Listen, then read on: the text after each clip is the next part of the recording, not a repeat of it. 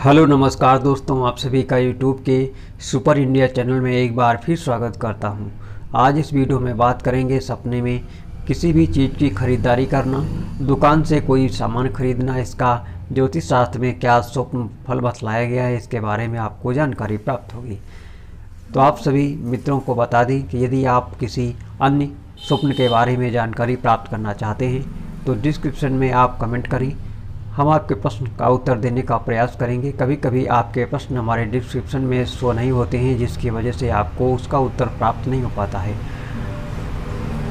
तो आप सभी दोस्तों से निवेदन है कि यदि आपने अभी हमारे सुपर इंडिया चैनल को सब्सक्राइब नहीं किया है तो कृपया सब्सक्राइब कर लें। तो चलिए दोस्तों, बात करते हैं स्वप्न फल के बारे में। यदि आप सपने में किसी प्रकार की कोई भी वस्तु आप दुकान से खरीद रहे हैं, किसी से आप खरीदारी कर रहे हैं पैसों के बदले में तो खरीदारी करना स्वप्न में ज्योतिष शास्त्र के अनुसार अच्छा नहीं माना जाता है। आपकी समस्याओं में बढ़ोतरी कराता है, आपके धन में कमी कराता है या आपके व्यर्थ में धन खर्च होने का संकेत करता है। या आपके धन में रुकावट पड़ने या आपके धन में कमी होने का संकेत कराता है।